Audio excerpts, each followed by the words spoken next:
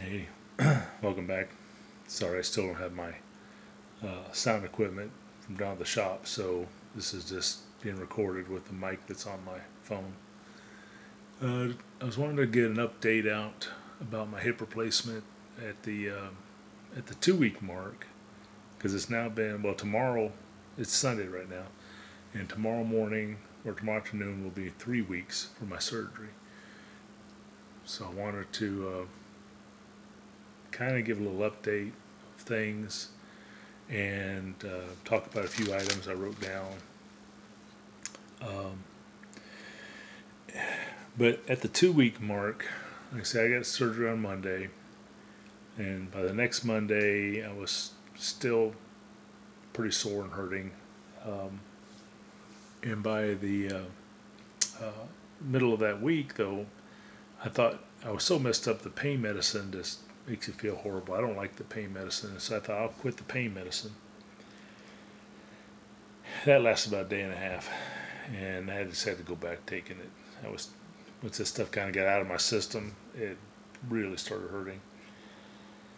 But by the middle to end of the second week, and really into that next this the end of the second week, I got into the to the weekend before the two week mark on a Monday. I was I was getting down, depressed. Um, I was hurting,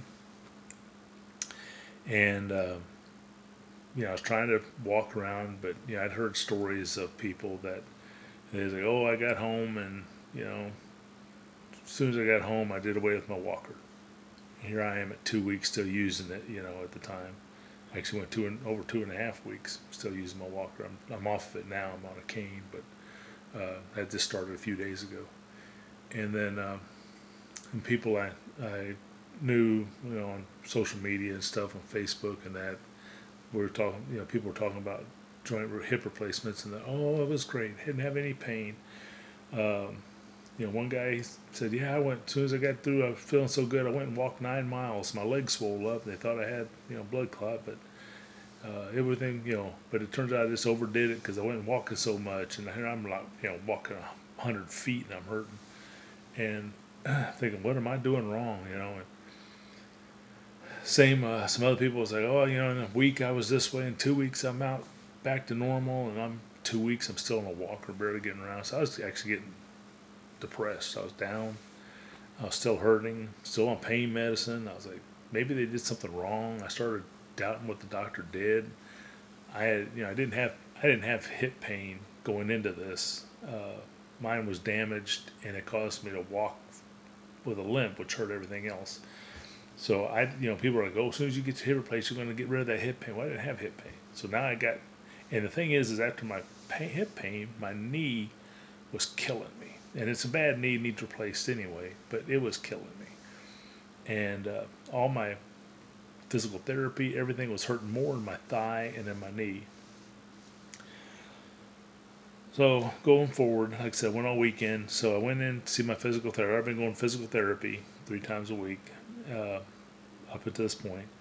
And I went in. Uh, actually, Monday was a holiday. I went in Tuesday for physical therapy, and uh, one of the ladies was doing my physical therapy. And I walked in. I told her I was in a lot of pain. I've been trying. I thought. I thought. You know, I, maybe I'm not doing enough exercises, and that's why I'm not progressing. And so I tried over the weekend. I was doing extra exercises and whatever I could do. It wasn't a whole lot more. It wasn't like I was just exercising all day long. and so I got in there and I told her, you know, how I hurt all weekend, really even worse than the week before. And I was uh, about being kind of down because I wasn't progressing. And she just kind of, you know, straightened me out she said, you know, I was really actually doing good because I could lift my leg up onto, you know, the table myself. I could lift my leg up off the table. I could lift actually lift my leg up, my foot and knee and everything. You know, just lift it up, set it on the table, set it off. You know, lift it over, you know, off the table, do all that kind of stuff. And she said there's people at two weeks that she's known that, that she'd have to lift their leg. They couldn't do it themselves. So she said she gave me an A minus. he said, uh, I give you an A because, uh, you know, you're doing great. I give you a minus because you're trying too hard. I was doing too much exercises. And so there's another guy there, uh, just a couple different, there's two or three different uh, physical therapists I see. Mainly the guy I see, uh, Brad, he, uh, he did a, he worked with me. He said, yeah, I was doing too much and I need to, you know, I was pushing out too far with my leg and I was walking with too big of a stride. He said, cut everything down. And they were all telling me, cut it down, don't do so much. So basically, I got home that Monday and I did nothing, no more exercises Monday evening. And I got up Tuesday and I said, I'm not doing any exercise today. I'm just going to rest. And so Tuesday, I just basically just laid around all day. It's been pretty boring. But that Tuesday was the best day I had in two, well, two weeks and a day from surgery. And it was, uh, it was nice. And so I, uh, so I thought, okay, maybe I had overdone it some. So since then, it's it's all been improving a lot better, and the therapy, physical therapy, has been great. Uh, I go to TriStar Physical Therapy and it's Stonecrest Hospital in Smyrna, but I go to them. They they they were great with my shoulder. I mean, my shoulder's just like 100%, and now they're doing my hip and they do a really good job and um, a really nice bunch of people. And so um, I go there, and uh, uh, so I, have been doing what they've been telling me to do, and I've been watching what I've been doing, and not trying to overdo it. And, and then I went to see the doctor. It was actually they wanted to go two weeks after it. By the time they got me, the doctor got me the appointment. It was actually two and a half because I said I got surgery on Monday, and I went two weeks and then to the next Thursday. So it was almost two and a half weeks, two weeks and three days. And I went and saw the doctor. And he's, he's a real good doctor. It's Dr. Raab, R A A B. He's with Elite Sports Medicine in Nashville. And uh, by then, my hip, it just felt like I was sitting on a, a big wallet or something. It was like a knot on the side of my backside here that in my hip. And just to, like the day before I went to see him, it pretty much went away. And so um, I was telling him about all, all, this stuff I'm telling you, and he said, he said, you know, one, he said, he's, he's actually got a clear plastic hip with a real prosthetic in it, and he showed, you know, like they drill. He didn't remember the sizes on me, but say they drill a 15 millimeter hole down into the bone, and it could be, you know, down in a good ways down into your femur after they cut that off. And he says that the piece going in is more like a, you know, it's just like a spline. It's got like teeth coming off, like gears, but coming all the way up the entire shaft. And so they'll drill a 15 millimeter hole, but that might be almost, you know, 15 and three quarters of a millimeter diameter. So the splines are actually digging into the bone. All inside the bone is just going all the way in, and they have to hammer that in all the way. And he said the same with the hip. The hip is actually drilled out for the socket smaller than what that is, and they have to hammer that in, and it's porous so that the bone will grow to it. But the um, but he says it's very brutal, and he says they'll tell you any surgery you do on a joint, the next closest joint suffers. So he says that's why my knee, which is already bad, is uh, hurting so bad. He says because that knee takes so much abuse from them having to lift and twist and and you know smash that uh, smash that bone, and uh, and how they have to twist your leg at an angle to pop that joint out and do all this stuff. He says your, your knee takes it. And he says if you have a knee replacement, your ankles are going to hurt. So just remember that if you're going to do it. Because they don't tell. They, nobody told me how that part. They never told me that when you got my hip replaced or when I go get my knee replaced, it's going to hurt the joint next to it so bad. And so they took the steri, steri strips off of my incision. Incision about nine and a half inches long at my side of my hip. Um, I had a posterior or whatever they called it. it came in the, the back side of my hip, kind of, sort of. Uh, and uh, so I got the incision, but the stitches don't come out. They just, I guess, dissolve or something. It's like an inside stitching or something. I'm not sure. but anyway, I was doing too much. Had all this pain. It was causing extra pain. So I stayed on my still taking my pain medicine even today. Uh, so I can't drive. Um, that uh, uh, pain medicine will stay in you. He he said you got to be off it for two days because if I'm in a wreck, even though they say take every four hours, it stays in your system for 48 hours. And so if I'm in a wreck and they did blood work and I'd come back positive, I'd get a DUI. So I had to be off pain medicines and off off a walker for so many days before I'm allowed to drive. And they, if you've had a a right hip done in the you know in the U.S. since we drive on the left the left side of the car, we use our right foot for the gas and everything, and you have to get in with the right side um, of your body onto the left side of the car, but right side of your body. You, they want you to go four to six weeks before you start driving uh, with your. Uh, if you had a right hip done, if you had a left hip done, they want you to go four weeks.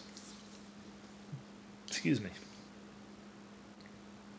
But he got to me. He said, "Yeah, I was doing too much." He said, "I just need to let the body heal." He said, "That just takes time, and everybody heals at a different rate." And some people do come in and they're way further along in a couple weeks than and other people or take even longer than it's taken me. He said, but everybody wants to be a superhero, which I guess that's what I was looking at. And he said, I'm going to go have the surgery and I'm going to be back at you know work in a couple of weeks and I'm going to be doing this in two weeks and I'm going to be doing that. And that's that was my mentality. and when it didn't happen, that kind of led me to being pretty down and and so anyway, that was just one of those factors. but I'm doing good now. So, um, another thing he brought up, he says you got to watch what people say that are talking to you that had hip replacements four or five years ago, ten years ago, twenty years ago. Um, there's a term for it. I forgot to look it up. If I could think of it, I'll look it up and put it down here. But uh, there's a term for it. But it's basically it's like um, it's when something good comes out of a bad pain, and it's always um, you know related back or analogous to uh, uh, childbirth. Not that I would know about it, but you know, but as he put it, he said his wife when they were having their first child. His wife, her, his wife was like, you know, this is all your fault. I'm never doing this again. She was a misery. And she says now they got five kids. Um, but it's this, it's the same thing. You, you go through all the suffering, but you got something good out of it at the end. You get this, you know, for a childbirth, you get a baby. For a hip replacement, you went through all the suffering, but now you got this good hip and you can walk good again. And after so much time, you forget the pain, or you forget that maybe the first two weeks or three weeks was rough, and all of a sudden it's maybe only the first week seemed rough. But some people do, you know, a lot better faster and apparently I just had to get used to that, and I just wasn't. I was wanting to be one of the ones that got, you know, back on my feet, back in the shop, doing what I wanted to do, going to work, and uh, instead of sitting around using a walker for two and a half weeks. But uh, once I realized, you know, it's okay, what I'm doing is okay, I'm progressing okay, um, I was fine after that. So you know, just just remember that if you know you take if you get in sooner, great. If you if you get take longer, don't let it bother you. It's just going to take longer. But do do the exercises. Just don't overdo the exercises like I was doing. I'm back to doing my normal exercises they gave me, and I try to just do what they tell me to do. And then, of course, I'm going three times a week, so I'm getting plenty of exercises just from the therapy. But I try to do them at home in between. I don't do them if I go therapy and do exercise. I don't do them when I get home because I don't want to overdo it. So in between therapy is when I do my exercises. I did them yesterday. I still have to do them today, but it won't take long. um, but you know, just know that everybody progresses differently. And what the doctor said, he says, I don't care if you're one of the people that get better sooner or you're one of the people that get better a little later. He said by the 12 week mark is what they kind of they go by. When you hit 12 weeks, that's like the key time. He says everybody is the same. So, you know, some people may get there a little quicker, uh, but by 12 weeks, everybody's the same. And so everything's working out a lot better. My stride's getting better. I'm walking with this cane now. I can actually move my leg backwards where I couldn't do that before. Um, as I was walking, I could, I, uh, I, I still have to learn to walk without a limp. I still have to learn how to, to take a regular, normal stride walk, which uh, I've forgotten over the the years of this thing hitting. Um, my uh, not only did I have arthritis built up, bone spurs, which is just arthritis buildup, but I had it all the way around the ball, which they cut off. I had it all the way around the socket, and they had to go in and, and he says that's really common though when you got all this arthritis in your hip is they had to go around and chip away all that arthritis around the socket before they can fix it. so my I guess it's pubic bone or whatever that bone across the front of you. It felt like somebody took a sledgehammer to it, and my thigh aches, my knee hurts, and all aching less. And I'm down to I just take a pain pill at night when I go to sleep. I can go all day now, and I'm thinking about not taking any more pain pills even at night, and uh, seeing how I sleep. Uh, but everything's going a lot better now, and like I said, tomorrow will be three weeks, and uh, and it, it really for me, it, instead of you know hitting everything really good at two weeks like I thought I would, it's just taken the third week. And I guess I would have thought I was thinking way I feel now is how I would have felt last week, is why I was down, and uh, and then I watch a lot of YouTube videos, as you can because I also do these. Uh, the YouTube videos, I was watching all these people out in their shops working, and that's almost like a torture because I want to go out in my shop. I got all these ideas I want to do. I got all this I want to do, and, and I ain't even been out of the house other than to go to physical therapy. so, uh, or go on the front porch or something, but it's 95 degrees Fahrenheit here, which is what 30 something Celsius. I don't even know. Uh, and the heat index has been around 100 or more degrees Fahrenheit. So it's uh, my mom's in town, and she she went out on the front porch. She said it was so hot it was hurting her eyeballs. so yeah, it's about right. It's just miserably hot out, and uh, so I just been staying inside, watching stuff on YouTube. the first two weeks, I was taking pain pills. I, I was taking instead of taking one to one and a half, as they said, I was taking half at a time during the day, as I thought I needed them. Like I take a half for I went to therapy, and a half for this. If I come home hurting, I take a half, uh, and then I would take a whole one at night, and then. Uh, uh, when I, uh, but with uh, like, let's say, okay, Friday when I went to therapy Friday, I did not take a pain pill, and did fine. And so I'm I quit taking them during the day. Didn't take any during the day yesterday. so I'm trying to get myself off of them. I just don't like the way they make me feel. Yeah, you know, they got a lot of side effects, and uh, I don't know how people can get addicted to them. It's so many side effects, drive me crazy. But I guess it happens. But anyway, I was just let, wanting to let you know all the progress things. Now, this is a long video about hip replacement, but it's almost two weeks. This is the two week and the three week kind of update. Two week, I was down, depressed, hurting, still had the knot sticking out the side from all the swelling. My leg ached, my knees killed me, my knee killed me, and uh, still was still on a walker. Uh, but this past week, it's really improved a lot. And seeing the doctor helped me a lot, and he was real patient. He's he just sat down and talked and answered all my wife and I's questions, and and never acted like he was in a hurry to run us out, you know, run out and to the next patient. It made it longer. We actually had to wait almost an hour to see him, but you know when he does like that, that's just the way it goes because people ask him a lot of questions. But it helped us, really helped us to uh, understand what's going on. I really started wondering if something went wrong with the thing. I started wondering. I was wondering if they did it right, if they, if he knew what he was doing. I mean, I had all kind of things going in my head that, at that two week mark. And uh, by the time I went and saw him, you know, I was doing fine. So, anyway, like I said, this is a long video, and I hope to get back in the shop sometime, but it's probably going to be, you know, a few more.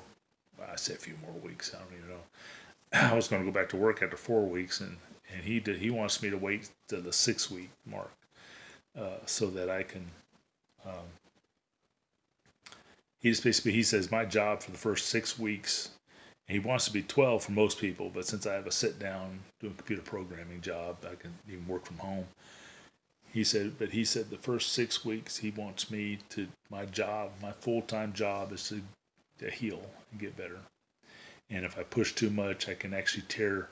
There's stitching layer that's just above the the joint. They have to they go kind of between the muscles to get to the joint, but then there's a layer of whatever they have to cut through that's uh, just outside the joint. And when they put the new joint in, they sew that up, and that helps hold the joint in place so they don't pop out on you. But you can do too much and tear that open. Of course, then they don't know it because it's way deep down in there, and you uh, you can end up messing yourself up, uh, and then your joint will have a tendency, more of a tendency to pop out later. So, you know, just let it heal. Take the time. Don't push it. It'll be, you know, another week or two ain't going to make that big a difference for me or for anybody else doing this. And uh, the other thing, which I I thought, you know, I had to worry about sepsis and staph infections and all that getting in my joint during this healing process from the surgery from the hospital.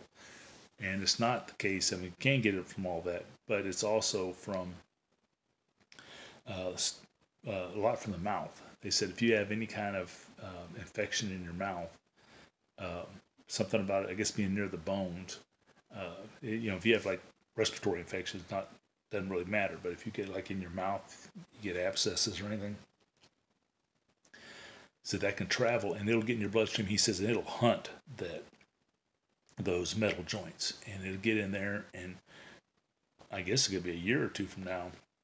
I could end up getting a, an infection in a joint, and they have to go back in and clean it all out, cut it all open and clean it all out, because you can't just take antibiotics to for a joint replacement. They actually have to go in there and flush it all out and clean it. Sometimes they actually take the metal out and um, put some kind of an antibiotic, antibiotic, antibiotic. I can't even talk this morning. Uh, block in between the joints, and you have to sit in a wheelchair because you have no joint. You can't walk uh, until that takes place. Could be however long. Could be weeks, I guess. And then they had to go back in, put all the metal back in, and start all over again. And I don't even want to get to that. So for the rest of my life, I get my teeth cleaned. I get a filling. I get crown, I get anything on my teeth for the rest of my life, I have to, and they'll give me a prescription for the rest of my life that I have to take this like high single dose antibiotic the day before I go to the dentist. And he'll he says, you know, if I ever he'll give me prescriptions after the, the 12 week mark and for all that stuff, and then um, I have to go and uh, let's see at the 12 week mark then and then i have to keep taking it. And when i run out i just call the office and they'll call in some more. And that's just going to be the way i had to do it for the rest of my life. And, uh, if i get my knees done they want to do both my knees but i haven't i wanted to see how my hip getting replaced helps my knee. Right now it's like i'm ready to get my knee replaced just because it hurts so bad. But then after this pain in my hip i like i don't want to get my knee replaced because it hurts so bad. And the hip isn't as bad as the knee the knee hurts more than the hip. Therapy wise, I can see where this hip therapy is going to go pretty quick because I see people in their knees and they have to go through a lot more. And physical therapist said knees are more therapy than the hips. And the shoulder is more therapy if you have rotator cuff like I did. Some people I've run into have shoulder replacement, and that's even worse. But rotator cuff uh, has even longer therapy than the hip and the knee but it's just not as painful of a surgery. It doesn't last long. It's painful the first couple of days in your shoulder, but it's not as like the hip or the knee. So, but I've got all kind of stuff for blacksmithing and welding. I got a bunch of welding projects I want to do. I got some blacksmithing projects I want to do. I got some challenges I'm going to get out there, and I'm going to work with some other makers. And uh, I got some challenges I want to do, and I'll I'm going to make a few things uh, see, getting back in shape, uh, forging, and then um, and try to learn how to make some things I got some ideas for, and then I'll have the challenge, and I'm going to challenge a bunch of people, uh, just for fun, just something to do. but it's something I want to get back in the forge, especially when the weather starts cooling off here in the fall here in the United States, and it's getting colder. I know in Australia and other places. A lot of blacksmiths I follow over in Australia, but I know over in Australia, sorry, let my camera lean. Over in Australia and stuff, I know they're coming into into summer there, and so it's going. It's all backwards. But y'all have a blessed day. hang in there. It does get better. Might be the three week mark, but it does get better. And uh, and do your exercises and do what the physical therapist says, and you'll do fine. Y'all take care. Have a blessed day.